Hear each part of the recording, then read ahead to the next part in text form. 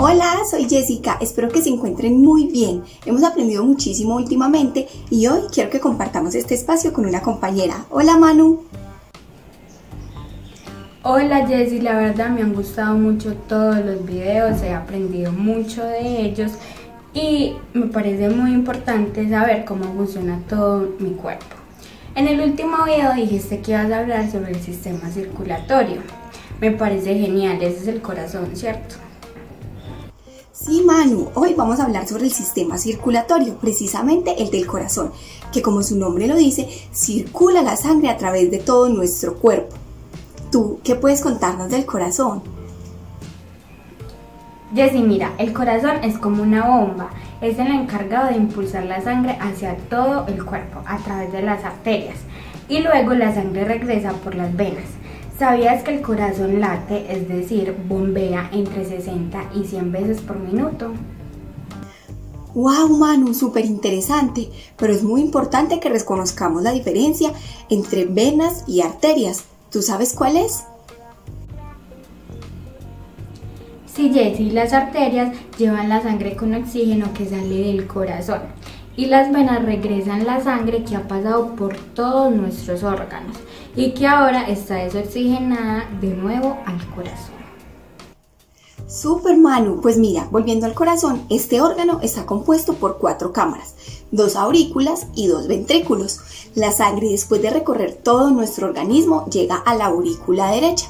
De allí pasa al ventrículo derecho y sale por la arteria pulmonar hacia nuestros pulmones, donde pasando por nuestros alveolos se va a volver a llenar de oxígeno y regresa a nuestro corazón, a la aurícula izquierda. De allí pasa al ventrículo izquierdo y la sangre sale a través de la arteria aorta hacia todo nuestro organismo.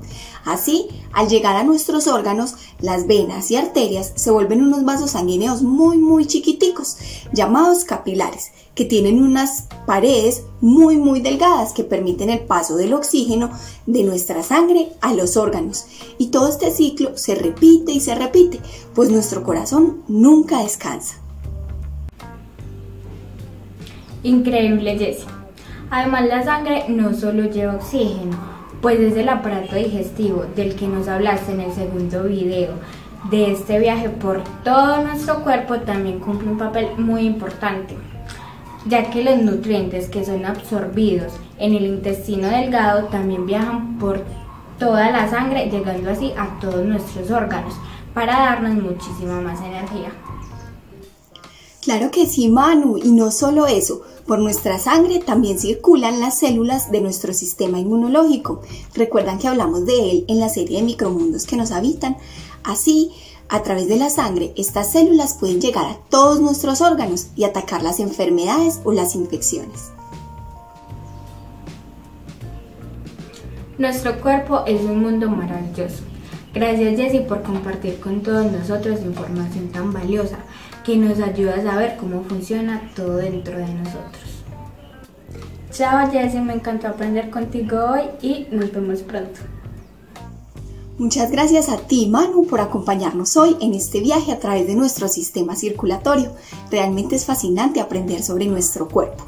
Muchas gracias a todos. Nos vemos pronto para que aprendamos en el próximo video sobre el sistema nervioso. ¡Chao!